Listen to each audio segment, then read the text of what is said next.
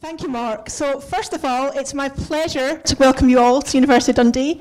It's great to finally see you. We started planning this about a year ago, and it's great to finally have a room full of people. So, thank you very much for joining us today. So, who's seen the movie The Martian? Okay, quite a few people. I took my mother to see it, and my mother said afterwards, and she was crying, and she said that was a really emotional movie. And all I could say is, Did you see the computers? Did you see the computer science? That was amazing. And she just didn't get it. But today, I'm in a room full of computer scientists, so I'm sure you guys will all get it. And so I thought, with that movie and with the fact it's inspired a lot of us, wouldn't it be great to find out what's really going on in Dundee to do with Mars exploration? And so I'm really pleased that we've got Iain Martin here from our Space Science Research Group, who's going to tell us all about his work on Mars exploration. Thank you.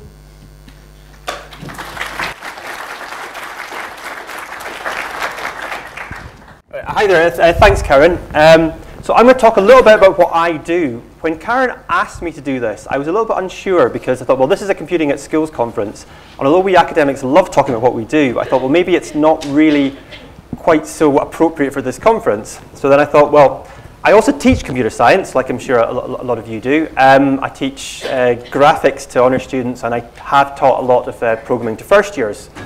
So I thought, well, a lot of the concepts that I use in my work um, are actually quite related to what I teach my first years. So although the scale is bigger, the concepts, the good practice, the, the way you go about solving a problem um, is similar to what I encourage my first years to do, i.e., I don't particularly like them sitting down hacking out code because they tend to get in horrendous muddles that you then have to sort.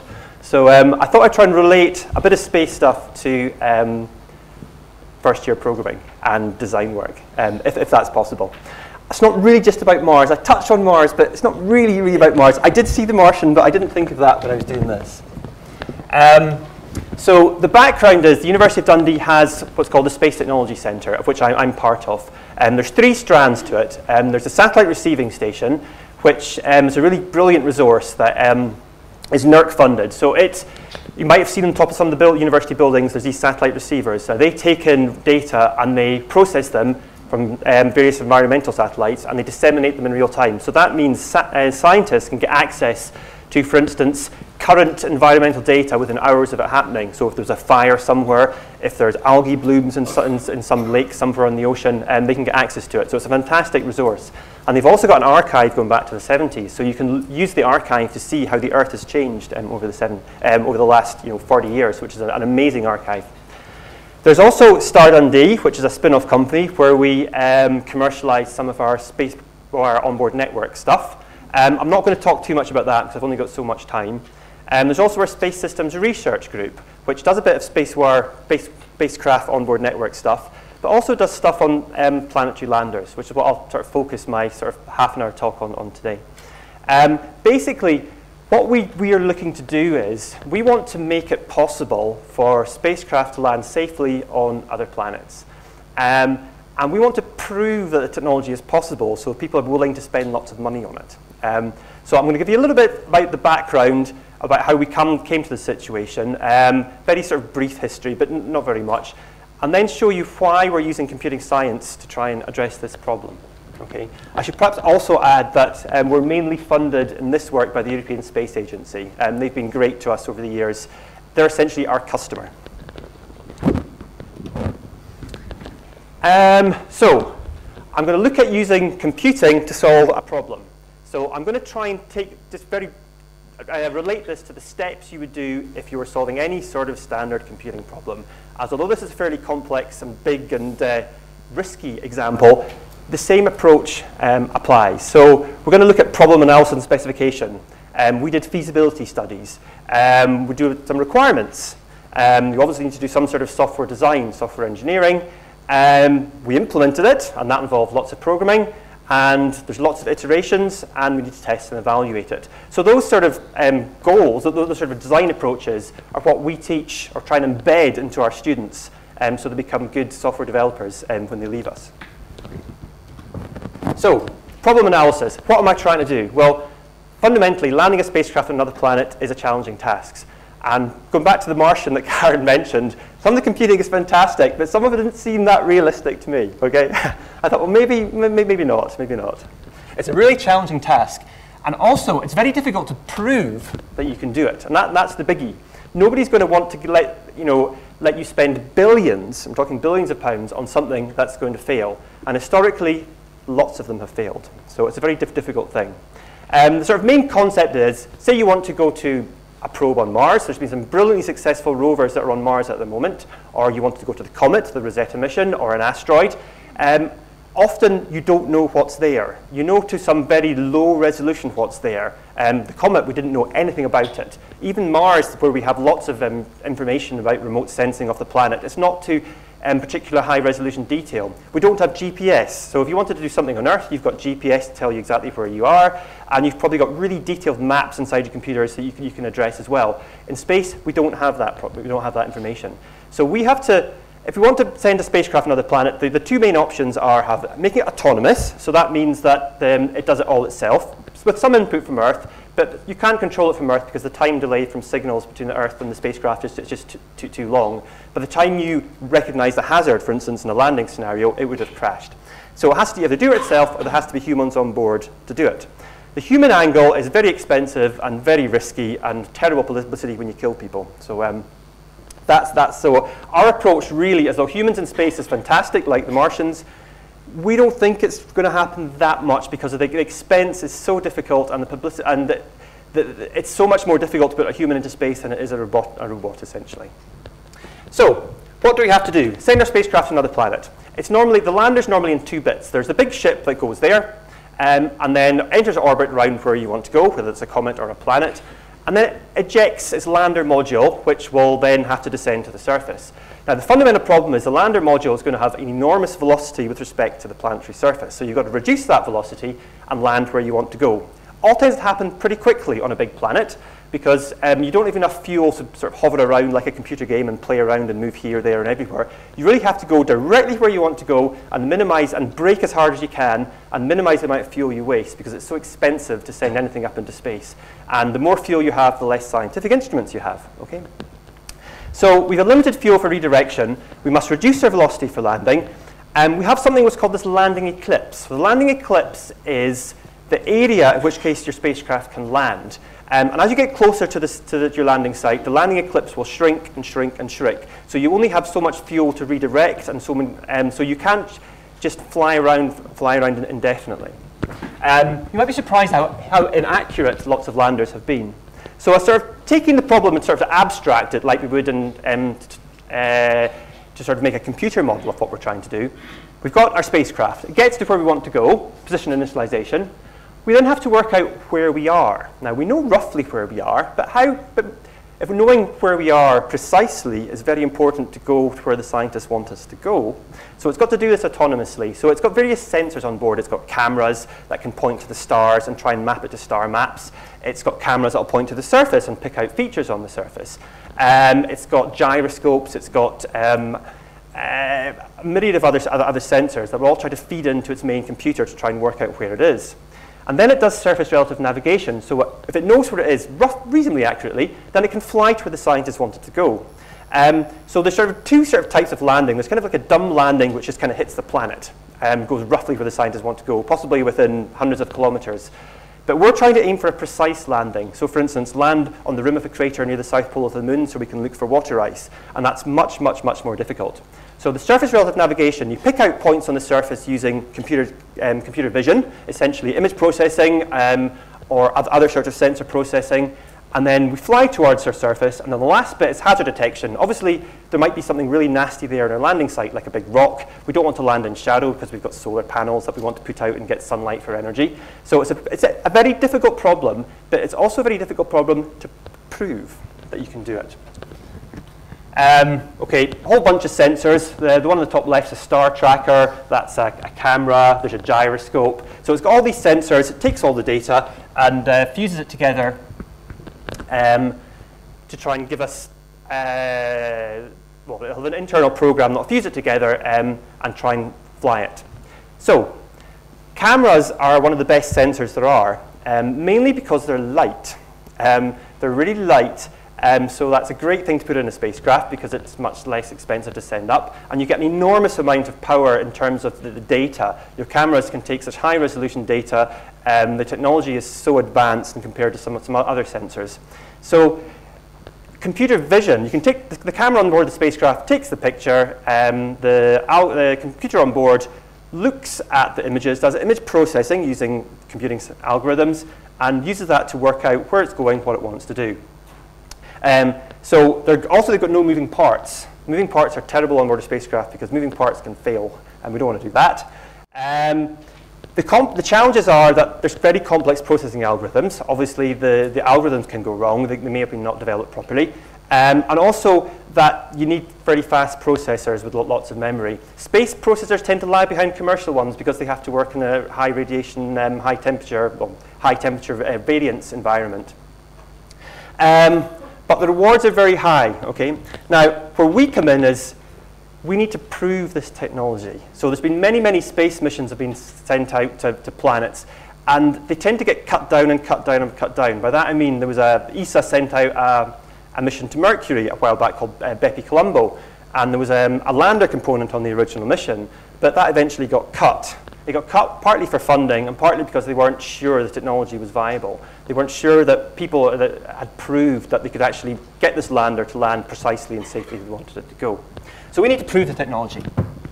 Um, we need to take the, so the spacecraft's coming to land, it takes images off the surface, and it turns into a hazard map. So the yellow bits are hazard, the cross in the middle is where you want it to go. Um, we want to make it a precise accurate landing, you know, within maybe 100 meters of the landing site. Um, now that's not actually um, been done before.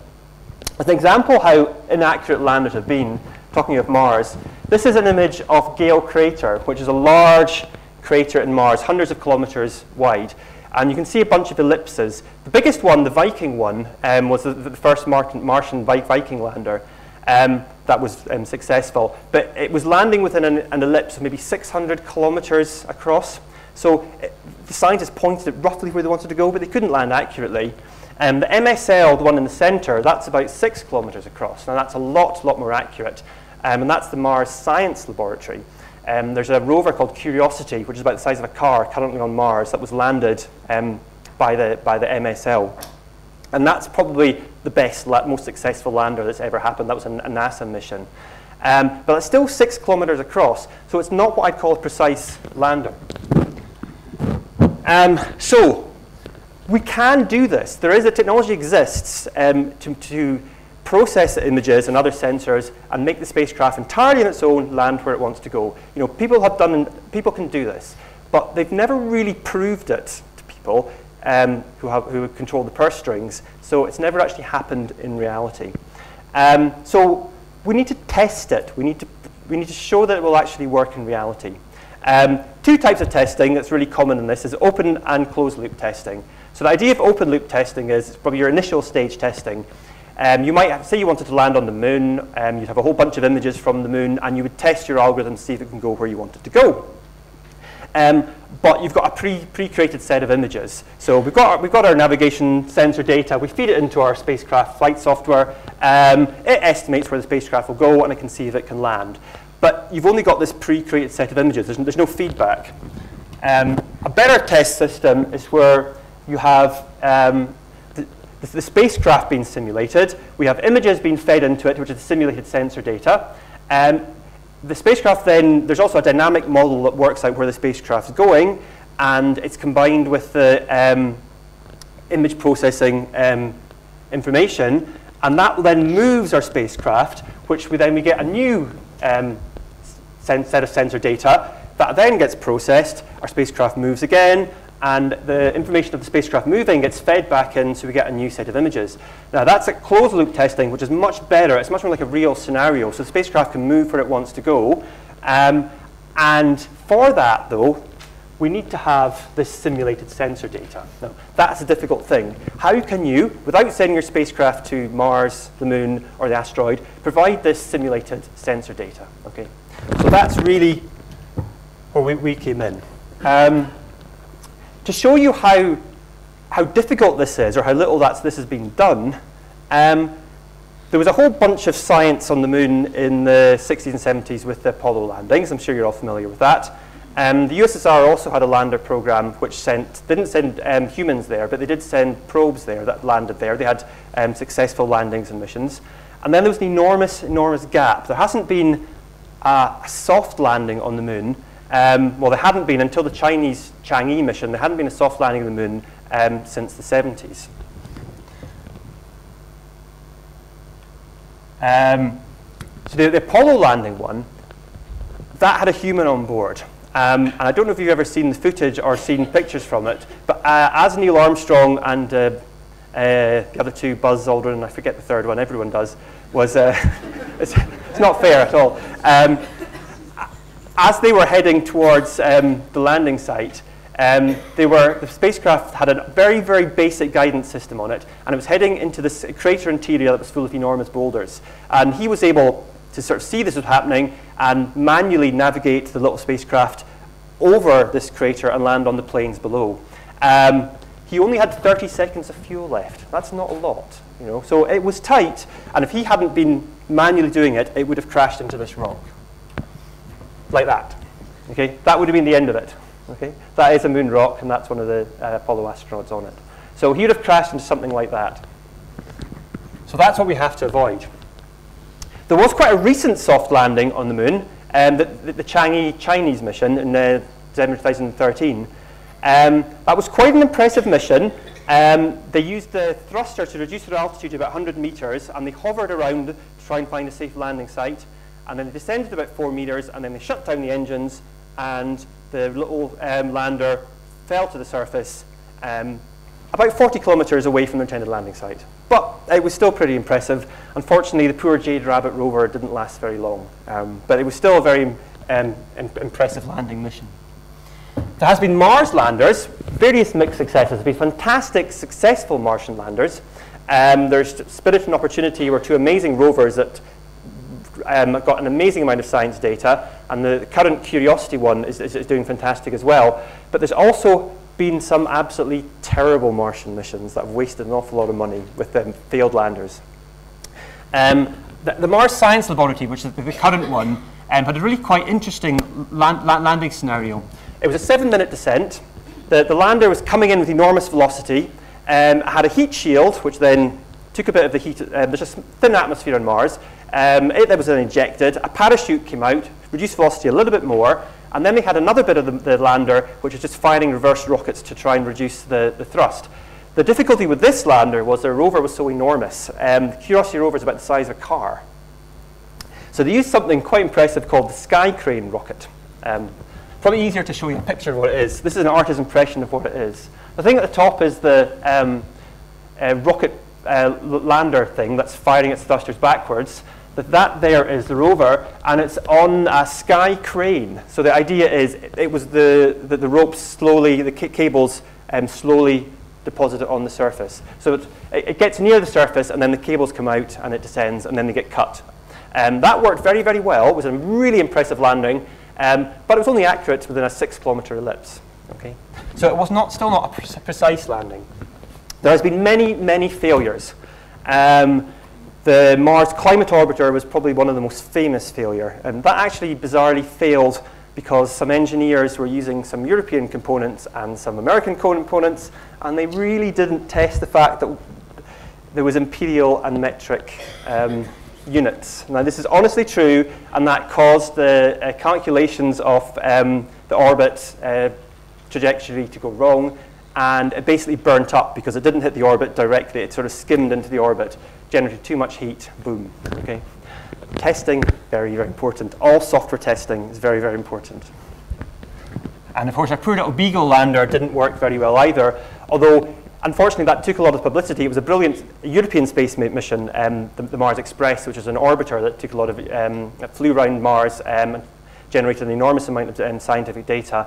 But our poor little Beagle lander didn't really have the funds, wasn't developed properly, and didn't have enough redundancy on board. So um, we think it landed, but we think it um, didn't um, unfurl all its instruments properly.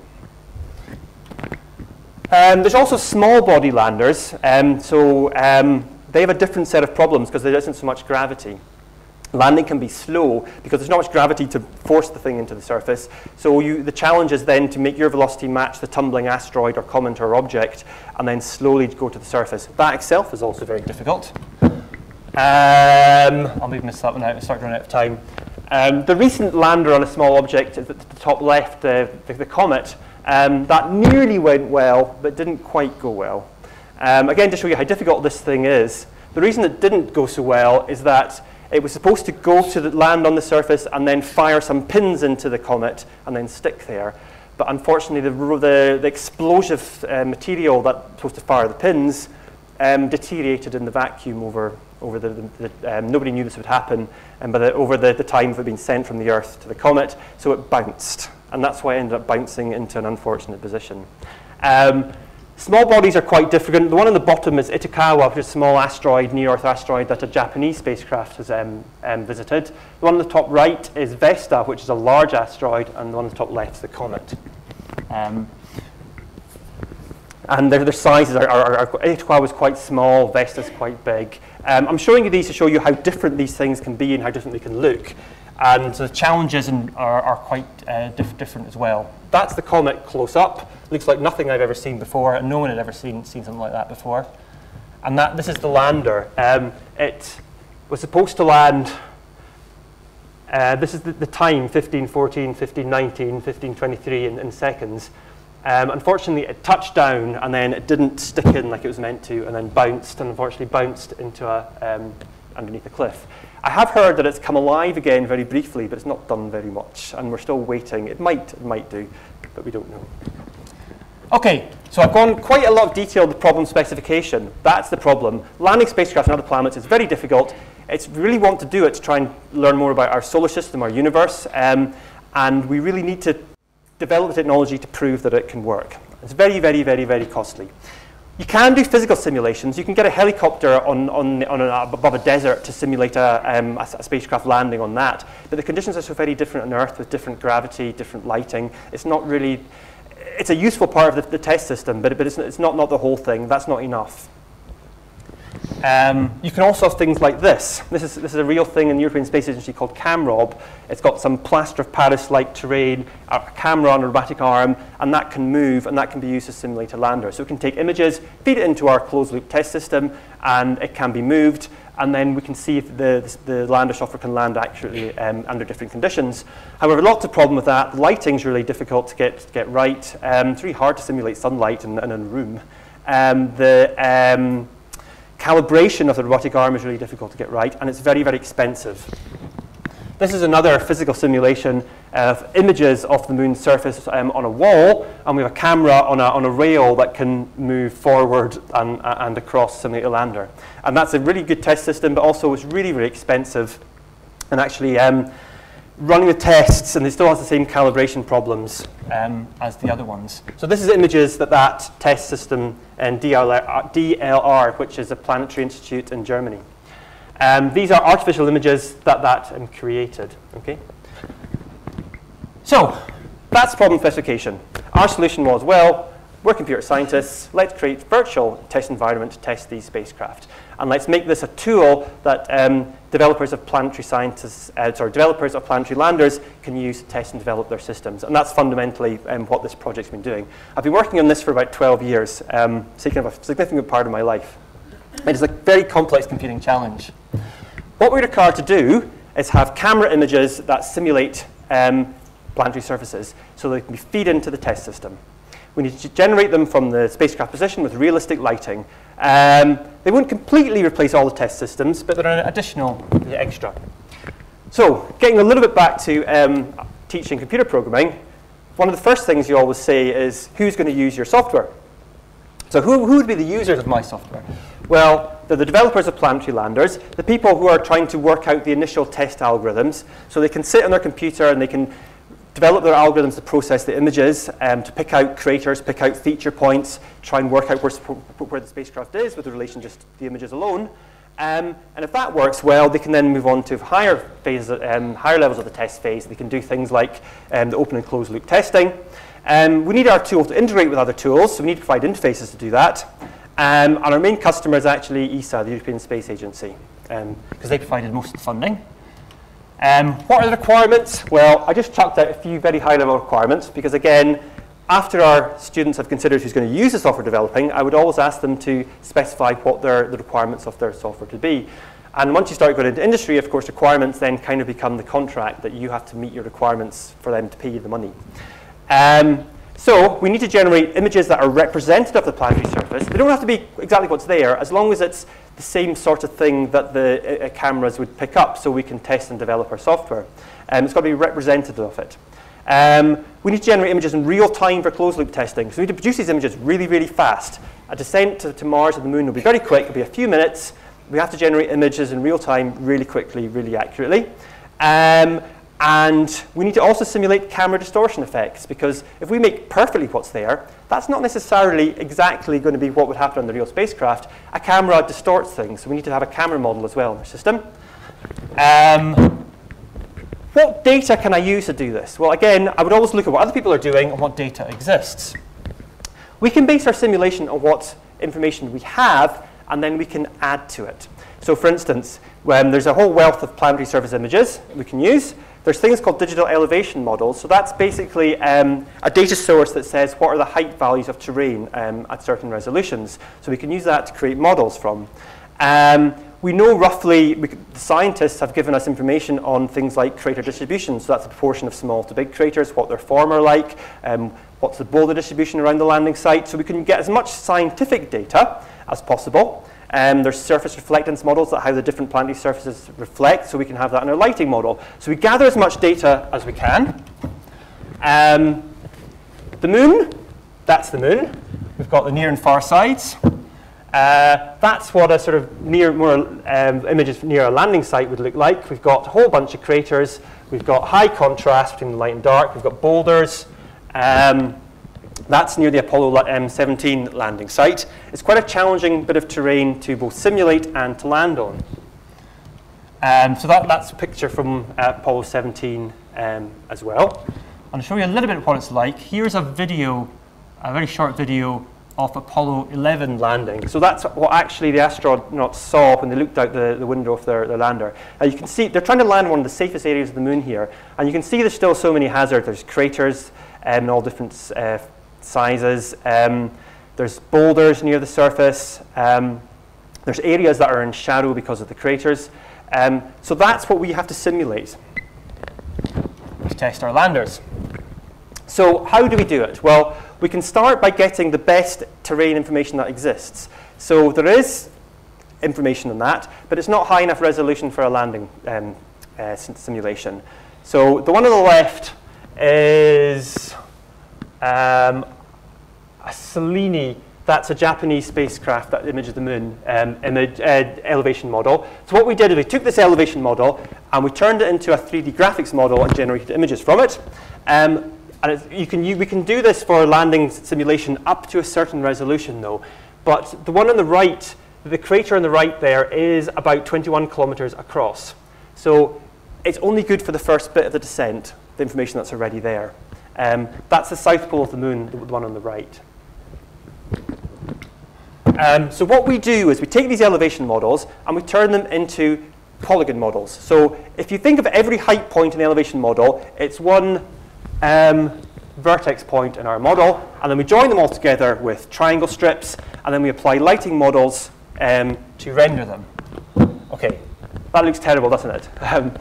That's a rendered model from a digital elevation, sorry, a rendered image from a digital elevation model of the south pole of the moon using the best elevation model we could at the time. So that's really no use for a lander. Um, it's far too blurry because we don't have that many height points in, in, in the model. So what we need to do is turn that into a high resolution model where we can move our camera around and we can take images. Um, so we can feed them into our test system and we can test our landers.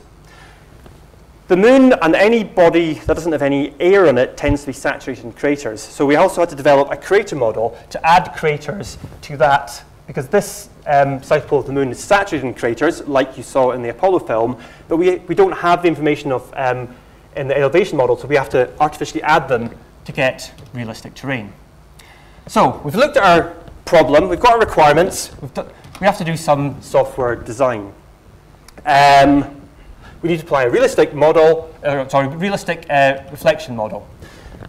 I'm not going to dwell on this diagram. I only chucked it up because all the conferences I go to regarding to space, everyone chucks up block diagram after block diagram after block diagram.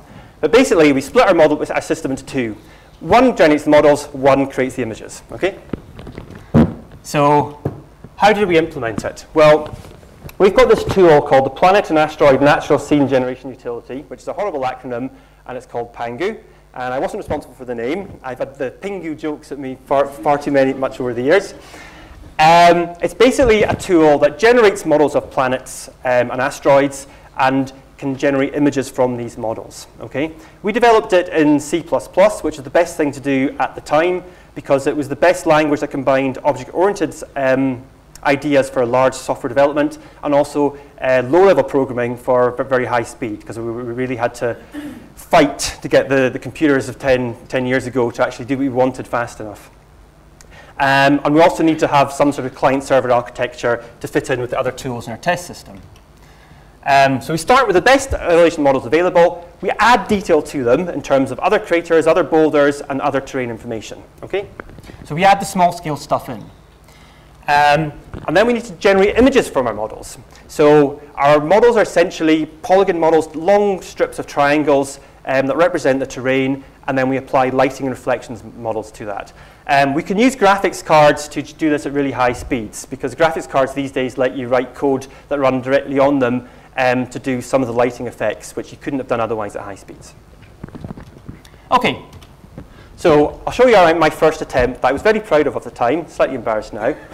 Um, we've got we, we get our terrain models, and this is showing you me defining crater positions to a certain distribution, and then we add it to the model. And that was that. Pretty good? I thought it was good at the time I was first doing it, but it's not really very good, is it? Um, and like all computer software of complex projects, you, you don't get it right first time. Um, and we don't even really try and get it perfect first time because it's just too difficult to do. So I often, I always encourage my students to iterate, to try and get the minimum specification working, and then iterate and improve and iterate. So we did that. We iterated. We made our crater models a bit, bit more realistic with fresh ones and degraded ones. Um, we artificially increased the resolution of the terrain. So I've got here on the bottom left low resolution, and I've artificially increased it on the top right. And we iterate again and again and again. And then we start to get looking a bit more realistic. So that's a synthetic um, Im image, artificial image um, of the moon that we can use for testing um, landers. And the, it's not just the image that we can use testing, we've got the whole model, so we can generate images from any spacecraft position and any lighting angle. And that, that's the key thing for, for this, this, this, this program. Um, and that, that's entirely artificial. There's no real data in that at all. Um, a lot of work went into that. Um, but we still use standard computer software development um, procedures and ideas um, mixed in with a bit of research because there was some stuff that wasn't, hadn't been done before and that's good for us because we can then get funding and write papers about it. So a mixture of computer science and, and research. We then add more features. We add rocks. Um, we add boulder models to simulate those rocks. These are all artificial. Um, and then we add realistic lighting models. So this is now much more accurate. Um, this is a, it's got a real lunar reflectance model. We've got a really interesting opposition effect where the, the light gets reflected back preferentially to, towards the, the source. Um, we've, got, we've, got, boulders, and we can now create large models. So what we've essentially done is mix real data and artificial data to create simulations that we can test our spacecraft. Um, so I thought I'd show a, a, video of one of our current um, simulations. So this is a simulated landing um, on the south pole of the moon. The sun angle is very low. Um, it's always about between about uh, I don't know, a half and two degrees um, elevation. So everything is in um, contrast. We've got bright and dark areas. This is spacecraft doing a diversion maneuver. The model was created by the best elevation data we could, which is about 250 meters between terrain height points, and we filled all the rest down into the landing site. We've also got the challenge of making it the model very big, so you can have a realistic image when you're far away from the surface, and zoom in and zoom in and zoom in and zoom in. So the initial images have to be maybe one kilometer per pixel on the image, and then down to the landing site, you know, 25 centimeters, 50 centimeters per, per image. So we have to organize our data in such a way that we can have enormous amounts of data and have it rendering at high speeds the high-speed rendering, the, the, the, testers want us to do about 10 hertz. They want about 10 frames a second. So we're not doing computer games. The aim is not, not, not to have it looking as the same as a computer game. The aim is it to provide the images into our closed-loop test system um, that would then allow our um, spacecraft to uh, analyze the images and then fly to the landing site. So now we're starting to head towards the landing site. You can see how challenging and horrible place this is to land. Most of it's in dark shadow. And this is where the European Space Agency, Space Agency want to land because they think there might be water ice inside those dark craters that the sunlight never um, reaches. And they also, there's some nice points on the peaks that are nearly always in sunlight. So our spacecraft can land, stick out its solar panels, get some power, send its little rover off into the craters to try and check if there's water ice. Um, so this, this, is still a study phase, but it's something the European Space Agency want to do. They want to land on the South Pole. We're now doing a bit of divert, and we can now see, we can see the shadows of the boulders, not the boulders. And we're starting to run out of resolution now in the model, um, and, and, that's our landing. So we've run out of resolution in the mo model now. Bang. Um, and this is another simulation of asteroid Itokawa. Um, what we've got here is we've actually mixed the simulation with the real spacecraft. It's called the Ephemeris. So that's the spacecraft actual spacecraft position in relation to the asteroid body.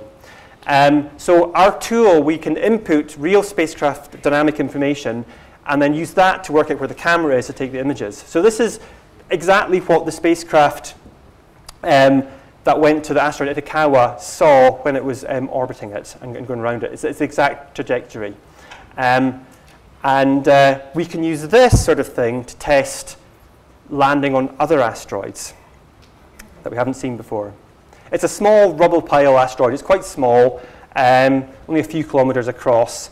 Um, and they actually landed on that asteroid, kind of a crash landed, and they tried to take some soil sample and take it back to the Earth and they say they got something, but they're not sure how much they got, and I've not seen published anything from that, um, any, any, any, information from it. But they did take in a brilliant amount of, amazing amount of um, sensor data, images. Okay, we're starting to run out of time, so shoot on. So I thought I'd also show you our um, tool being used by a um, actual uh, image processing algorithm. So the one on the left shows a spacecraft model approaching the asteroid. The one on the right shows the image processing algorithm run on the asteroid. What it's doing is it's picking out points, feature points um, on the, the asteroid, and it's trying to track them from frame to frame. And you can use that information to work out where its position is relative to the asteroid, a bit like using sort of trig to try and pinpoint where you actually are. Um, the sunlight's gone out of sunlight now. You can see it now. It's also, you can see how challenging it is because the, the asteroid's rotating so fast. The longer the track, the more the feature point has been tracked from image to image. So this is sort of an example of using our, our tool to de develop an image processing algorithm to track features across the um, surface of the asteroid. Again, we're starting to run out, run out of um, resolution now. And uh, our little simulation just lands on it anyway. Um, we, the model isn't high enough resolution to have that, but actually it was the feature tracking thing we were tr trying to show. And we hit the surface, I think. Bang, yep. Um, and this is a simulation of Phobos, which is a potential future mission. The European Space Agency are wanting us to create models of Phobos, which is a moon of Mars, but this is, could be a captured asteroid. Um, so we're taking their low resolution data and making higher resolution models, which they can then render um, to create images from to simulate their spacecraft landing. Um, okay, so we've put an enormous amount of work into this, and um, how do we actually evaluate it?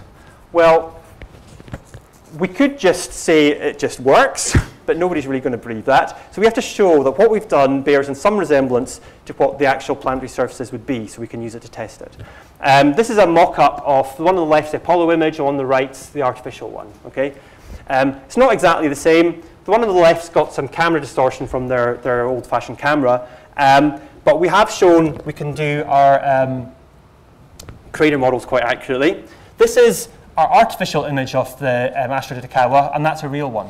Okay, so it's not perfect. Um, we think the little brighter bits might be because their model's slightly rougher than ours at the moment, or it might be that we've not quite got our reflection model perfect. Um, oops, sorry, but we're, we're, we're, we're quite close. Um, certainly enough to do um, reasonable testing on spacecraft landers. We, we also compare, we do um, quantitative analysis on our images. We compare our images quantitatively with images from uh, real ones and artificial ones. We do stuff like slope distributions, um, we analyze the power spectrum and, and, so on. So we do statistical analysis on our images. Um, and the, sort of the, the, the, goal is then to make our images be used to run the image processing algorithms. This is a static image showing um, feature tracking. So the idea is you've, you've got a lander descending, and it picks out a feature point in the image. That's a point that the image processing algorithms can recognize from frame to frame. And you can see that the, all those points are spreading out, and that's because we're heading in for the center of that crater. Now, the one on the left, we took a low resolution model and made it artificially high resolution, and the one on the right, we took the highest resolution elevation model, that real. So the one on the right is real, one on the left is artificial. And we're showing that an image processing algorithm behaves quite similarly in both the real and the artificial. So we've convinced the people at the European Space Agency that they can use our artificial um, models to test spacecraft landers. Um, since Karen ma uh, mentioned Mars, I'll briefly, I was going to pause for that, I'll brief briefly mention Mars. Mars is different from the Moon in that it's got a more complex geology, it's got a bit of an atmosphere, um, but we can do the same approach to it. This is what's called the MOLA dataset, which is an elevation model of the whole of Mars. So that's like a, a map of Mars. We've got the North Pole at the north, South Pole at the south. You can see that it's in two bits. The, the area at the north is quite low um, lying terrain, and the highlands are the, um, uh, the whole southern region. Um, the, the, highlands are much older terrain with much more cratering. I mean, it's possible that there was a sea in the, in the northern area. Um, so here's a very small simulation of Pangu on the left, Mola on the right. So we've enhanced it on the left, and it's the original one on the right. We're using it to test the spacecraft descending, and we've already run out of data on the right. We've just got a blurry simulation. And um, on the left, we've got um, artificial simulation, so we can um, simulate a spacecraft landing um, on, on, on, on, the planet. Um, so basically, a sort of a summary is landing a spacecraft on a planet is a really difficult thing to do. Testing is essential, um, but the surfaces vary enormously. The challenges are quite, are quite, are quite huge to both develop and test um, and prove this technology. But we've, we've spent a, the last 10, 12 years wor working on this in University of Dundee, and um, we've, we haven't reached our goal, but we're heading there, and we've used a mixture of research and standard computer science development. We, we did all the standard, for each of our projects, we do all the standard phases of software development. So I like to sort of try and sort of show our first years when we teach Java programming to in, in the very first few, few months of their, their computing science career at University of Dundee that the stuff you're learning now can be taken and extended to larger um, and more complex projects. Okay. That's all for me. Um, any questions? Thank you. Um, we're running slightly behind. Sorry scheduled. No, it's not your fault. We started late, so it's not your fault in the slightest. Are you able to hang around for coffee? Um, yeah, yeah, yeah. Yep, So if anyone has any questions, can I ask you to take them the coffee break, and then we can move on to our, our next next session. We've got a first session, and then it's coffee. Can we just thank Iain very much first? Thank you.